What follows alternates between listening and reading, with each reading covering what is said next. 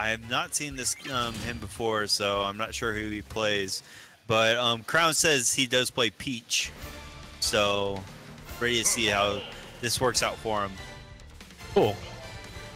I'm not really familiar with Crown either, so uh, I'm not sure who he plays either.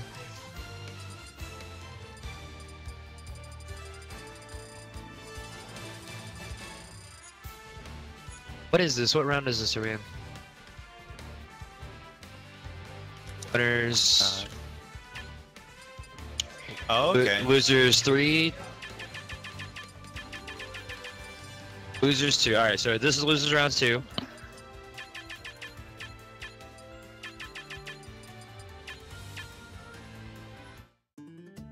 All right. Time to see the big reveal of their characters after this. After more intermission. Now, I think he's more newer um, player to the Source Gaming Lounge, so he has to set up everything. Blah blah blah. I, Oh, trust me, I understand. I I d- have to do all the same things. Yeah. I also gotta. Okay. Okay. Also, uh, rocking that Pro controller. One of the cool things of Smash 4 players is how many controller um, options you have. Yeah, but you have to watch out for it right now because in some areas they are banning the Pro Controller. Yeah. Because of reasons. Yeah, well, mostly it just clunky, but nonetheless, it's very cool that you have a lot of options in terms of uh, what comfort you can play with in terms of your controller in this game. Yeah. The other part is um a bunch of them, they complained that um the um the players weren't disconnecting the controller from Right. the setup, so it was messing up a bunch of games having that third player in. Indeed. So it looks like we're finally done with our setup of controls and whatnot. As one player picks a playlist, the other one. All right, Crown going with Peach. Yep. And it's gonna be a, Charizard. Charizard. Oh my lord.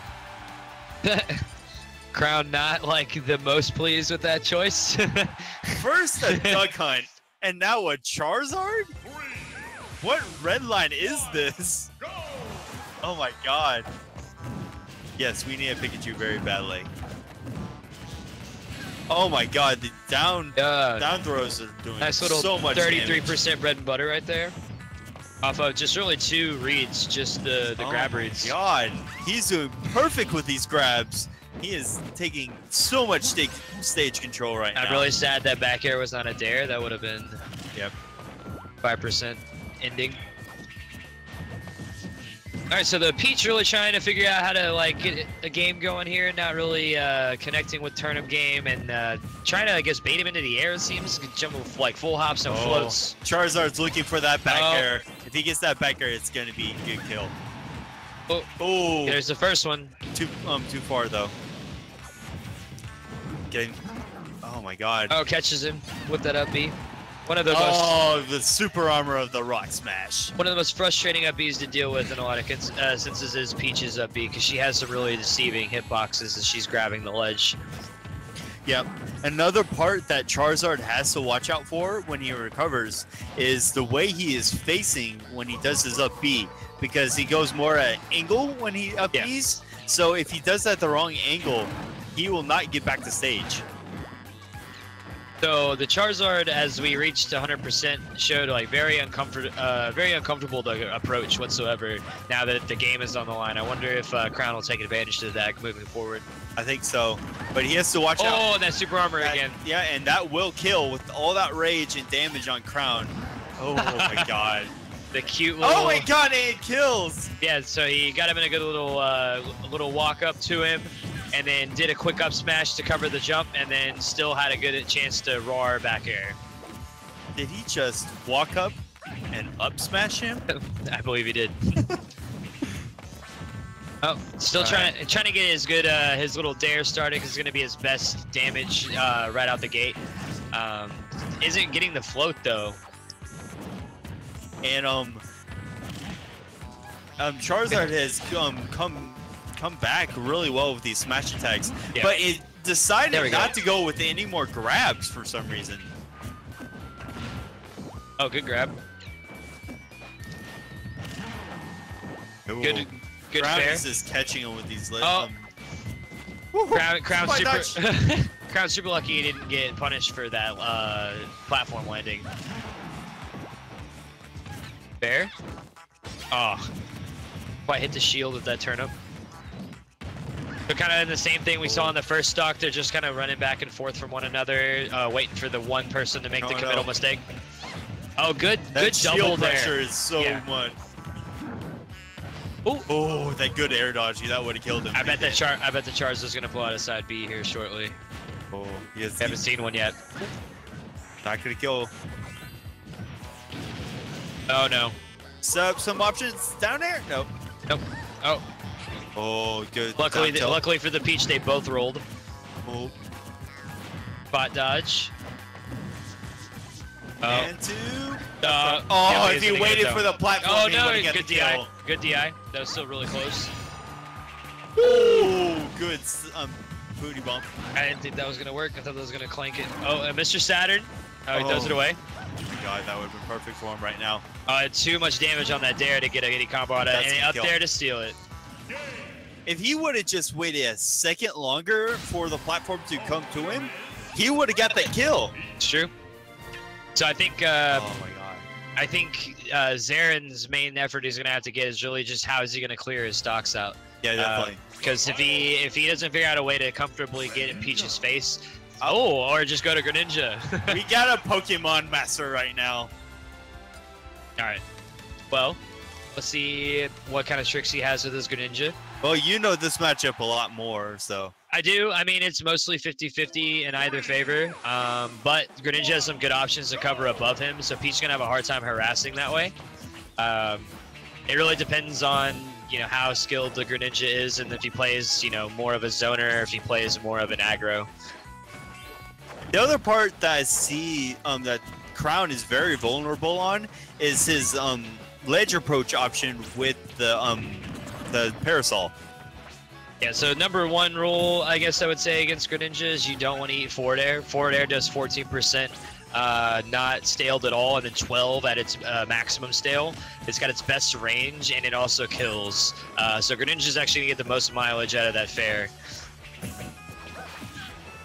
Oh, and then he's gonna use that up smash a lot to cover the the high options, like when uh, Peach gets above him with a dare, um, and things along those natures. But he, he hasn't really put any strings yet uh, together, but he's done a good job at just doing damage and getting out, not letting the Peach get on top of him. Yep. Um, right now, I just see him try to poke in, get some damage in. Yep. Because he's just waiting until that time. He's like, okay, now I can get the kill. But as you guys kind of said in uh, Kaze's game, the problem with that with Peach is that how easy Peach can do damage um, in general. So like, it's kind of a false sense of comfort that you have like a, a lead because she can just kind of rip you off, especially Greninja. Oh, very nicely done with the Shadow Sneak. Oh, oh no! Oh my god. That was definitely an accident. Uh, that would have worked, but uh, the the he flunk let on him the get upbeat back to stage like that? Wow. Runs into that uh, dare. Oh my god.